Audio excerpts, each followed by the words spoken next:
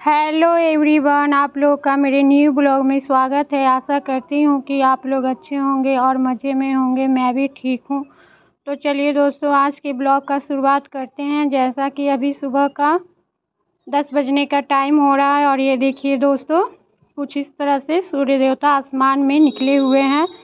तो हम सभी लोग मिलकर सूर्य देवता को नमस्कार कर लेते हैं।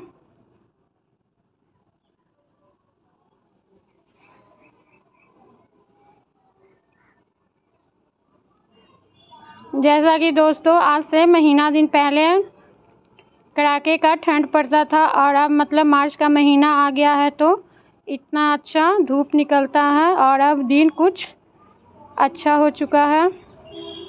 तो चलिए दोस्तों, जैसा कि आज मैंने लंच में मटर का दाल, चावल और आलू का चोखा बनाई थी तो चलिए मटर का दाल बनाना शुरू करते हैं। तो ये देखिए दोस्तों, मटर का दाल बनाने के लिए सबसे पहले मैंने पैन को गैस पे चढ़ा ली हूँ, उसमें सरसों का तेल डाल दी हूँ और इसके बाद इसमें मतलब एक कटा हुआ प्याज और हरा मिर्च डालकर गोल्डन ब्राउन फ्राई करूँगी।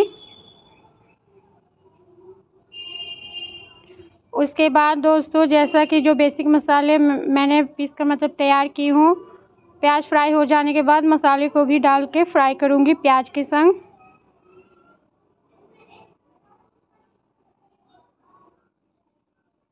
तो ये देखिए दोस्तों, मेरा मसाला फ्राई हो रहा है। और जैसा कि दोस्तों, मटर की दाल बनाने के लिए मतलब वो चीज़ मैं रिकॉर्ड नहीं की हूँ। मटर को मतलब बॉयल करके, उसको सिल्वर पर पीस के, उसका पेस्ट तैयार की हूँ दोस्तों। जैसा कि ये देखिए, कुछ इस तरह का मैंने मटर का पेस्ट बनाई हूँ दाल बनाने के लिए।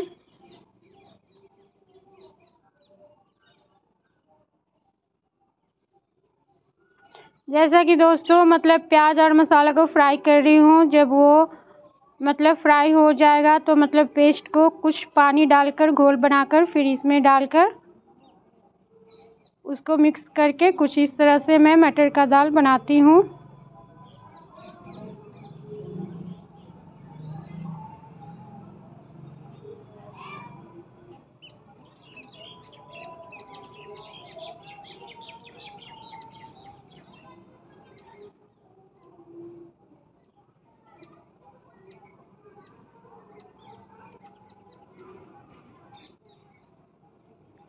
उसके बाद ये देखिए दोस्तों, मेरा मसाला और प्याज भुनकर मतलब कुछ इस तरह से दिख रहा है।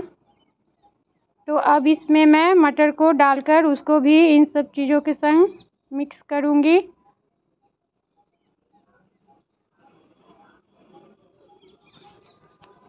और उसके बाद दोस्तों, इसमें पानी डाल दूँगी, ग्रेवी के मतलब जैसा मतलब दाल रखना होगा, पतला, गाढ़ा, उस टाइप के हिसाब से।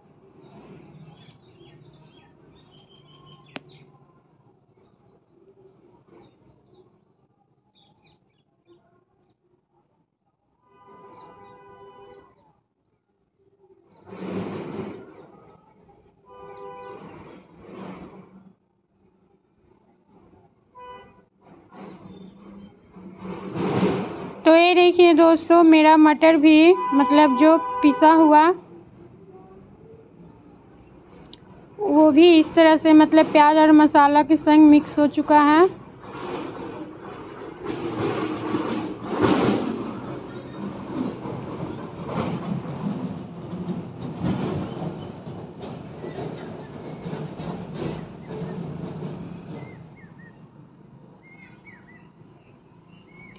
उसके बाद दोस्तों, जब मतलब मेरा मटर का पेस्ट भी अच्छे से मतलब मिक्स हो गया मसाला और प्याज के संग तो अब इसमें मैं ग्रेवी के हिसाब से पानी डाल दी हूँ।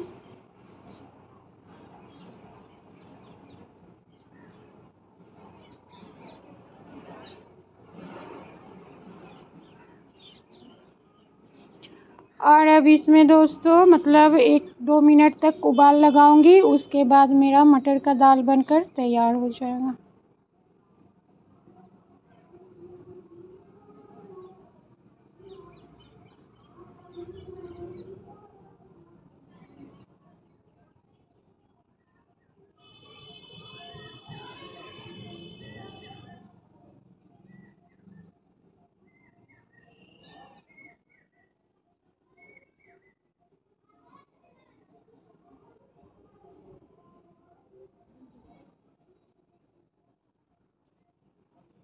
ये देखिए दोस्तों मतलब उबल उबल कर मेरा दाल कुछ इस तरह से दिख रहा है।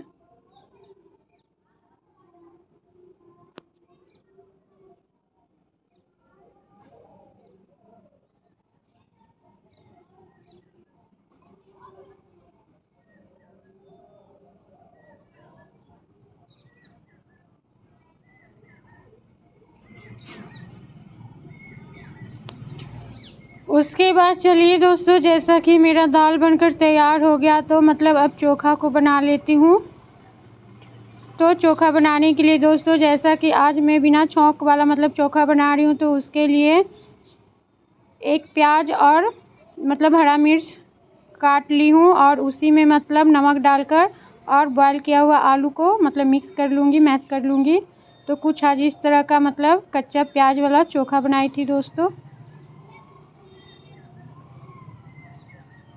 तो चलिए दोस्तों, अब मैं अपना लंच का थाली लगा लेती हूँ। तो ये देखिए, आज मेरे लंच की थाली में चावल है और मटर का दाल है और आलू का चोखा। है तो आज का मेरा लंच यही है दोस्तों।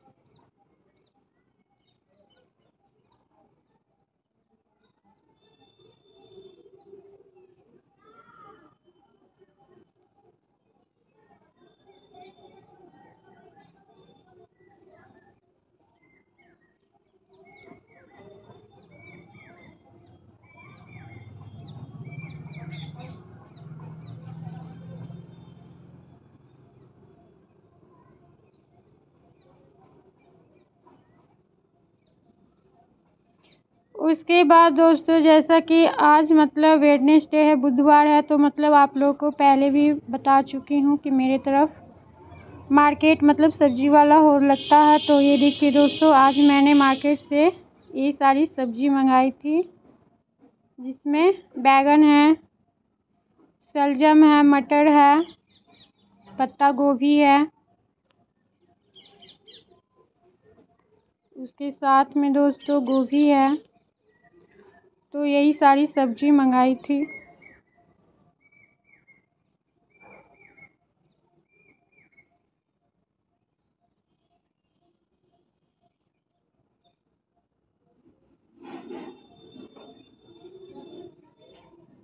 थैंक यू दोस्तों।